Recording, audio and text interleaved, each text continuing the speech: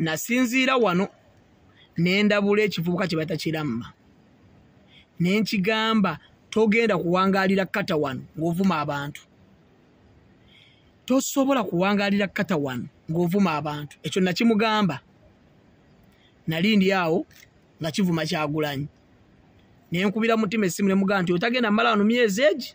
Nga tebannamuzza uganda. Ovume kyagulanyi pulezidenti mulamba wa ggwanga omuvume?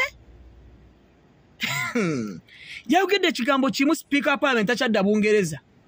Nebyobugagga bana ne babiwamba. Nayogera ekigambo kimu ne bamugoba. Gwosinzira ku simu yo odde ku tiktok ovume kyagwe? Gwaninga ensi yonna emutya.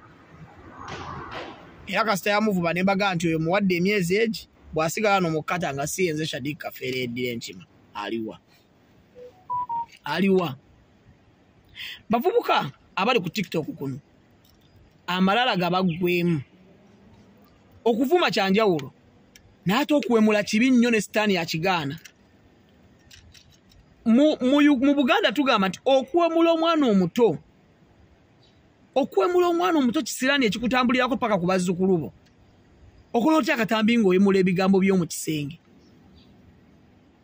bw'oba tolina folo kalekaleko naye ng'olina folo abantu bakutunuulidde n'otandika okuwemula nakigamba kidde tewali muvubuka ku ddungu kuno asobola kukkiriza mbukanve uganda ni mwana wa mugaga munzije male muno emyezi esatu.